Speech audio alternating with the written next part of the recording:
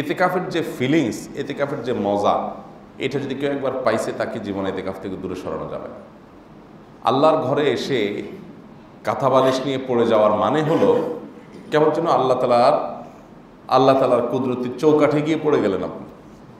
আল্লাহর দুয়ারে গিয়ে যেন পড়ে গেলেন যে, আল্লাহ মাফ করা ছাড়া যাব না। এসে কাঁথা বালিশ নিয়ে পড়ে গেলাম। কিছু ভিক্ষুক আছে না? খুব নাছড় বান্দা। এক দুটা কিছু ভিক্ষুক আছে যে, আপনি তাদের, আপনার কাছে এক দুইবার চাইবে। দিলেন না, চলে গেলে সে। আবার কিছু ভিক্ষুক আছে, দেখবেন, বিশেষ করে রেল স্টেশনে পাবলিক প্লেসগুলোতে দেখবেন, যে দিবেন না মানে আপনার পাও জড়ায় ধরে সে এমনভাবে একটা পরিবেশ সিন ক্রিয়েট করবে যে আপনি না দিয়ে যেতে পারবেন না। আপনি ঝামেলা থেকে বাঁচার জন্য হলেও দিয়ে যাবেন। আল্লাহ রব্বুল আলমিনের সাথে সেটা এইভাবে চলে না। কিন্তু বান্দা এতেকাফ করার মানে হলো আল্লাহর কাছে মাগফেরাত না নিয়ে এসে যাবে না সেরকম অবস্থায়। নিজের কাঁথা বালিশ নিয়ে এসে আল্লাহর ঘরে পড়ে যাওয়া। নবী করিম সাল্লা সাল্লামের মতো এত ব্যস্ত মানুষ, গোটা উম্মতের জিম্মাদার, গোটা উম্মতের দায়িত্বশীল, গোটা মানবতা আর মুক্তির দূত যিনি, তিনি পর্যন্ত তার সকল ব্যস্ততা ছেড়ে রমজানের রোজা ফরজ হয়েছে যখন সেই তৃতীয় হিজড়ি থেকে নিয়ে একেবারে ওয়াফাত পর্যন্ত। আমাদের আয়সাল্লাহ তারা বর্ণনা করেছেন যে একটি বছর রমজান এমন হয় না যে রমজান আসছে আর রমজানের শেষ দরজে নবী ইসলাম এতেকাফে ছিলেন না, একবারও হয় না আর আমাদের ম্যাক্সিমাম মানুষের জীবনে একবারও এতেকাফ থাকার সুযোগই হয়নি যে কাজটা আমাদের প্রেনবী সাল্লাহ সাল্লাম জীবনে এক বছর রমজানও ছাড়ে নাই, সেটা আপনি জীবনে একবার করেন নাই। শত্রুর সাথেও তো এরকম বৈপরীত্য হয় না সেখানে প্রেনবীর সাথে এরকম বৈপরীত্য আমল কীভাবে হতে পারে আপনার? আপনার কি মনে চাওয়া উচিত না যে আমার জীবনে একটা বছর অন্তত রমজান এতেকাফ করি? দশটা দিনের জন্য আমি নিজেকে আবদ্ধ করে ফেলি। আপনি ছাড়া পৃথিবী একটু কল্পনা করুন যে আমিহীন দুনিয়া কেমন হতে পারে। একটু কয়েক সেকেন্ডের জন্য চোখটা বন্ধ করে একটু কল্পনা করুন যে আমিহীন পৃথিবী আমার অফিস আদালত, আমার কাজকাম, আমার ব্যবসা বাণিজ্য, আমার সংসার, আমার সহায় সম্পদ, এগুলো কি হতে পারে? আপনি এখন এই মুহূর্তে যে কোনো একটা দুর্ঘটনা আপনি মারা গেলেন। শেষ।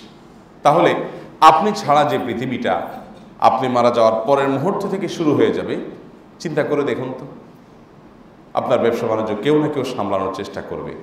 আপনার কাজগুলো কেউ না কেউ গোছানোর চেষ্টা করবে, উদ্যোগ নেবে এবং হয়তো গোছায় ফেলবে। হয়তো আপনার চেয়ে আরও ভালোভাবেও গোছায় ফেলবে।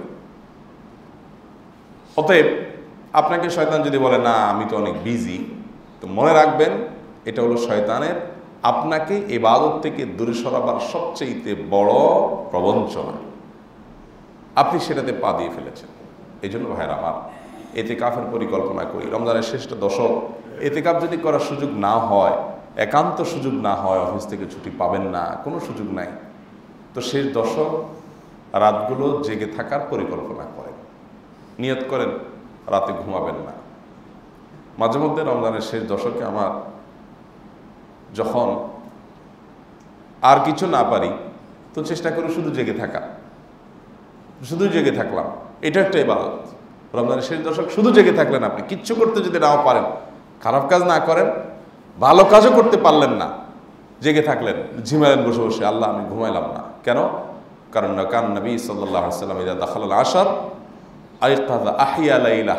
নবীজি রমজানের শেষ দশক যখন শুরু হতো, তিনি সারা রাত জেগে থাকতেন। রমজানের বাইরে তার শিডিউল কি ছিল? কবিল লাইলা ইল্লা কালিলা।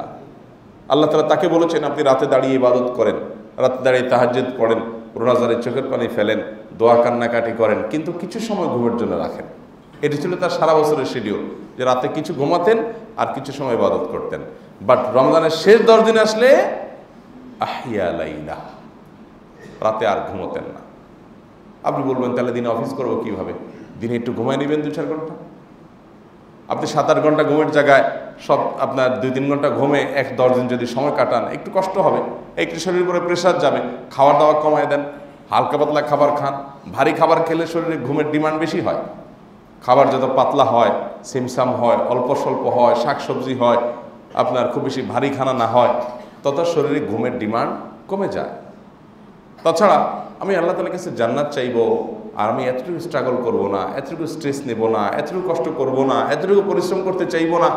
কিসের বিনিময়ে আমি জান্নাত চাইব আল্লাহর কাছে? আল্লাহ তালা আমাকে আপনাকে রমাদানের অবশিষ্ট সময়গুলোকে সদ্ব্যবহার করার তফিক দান করুন।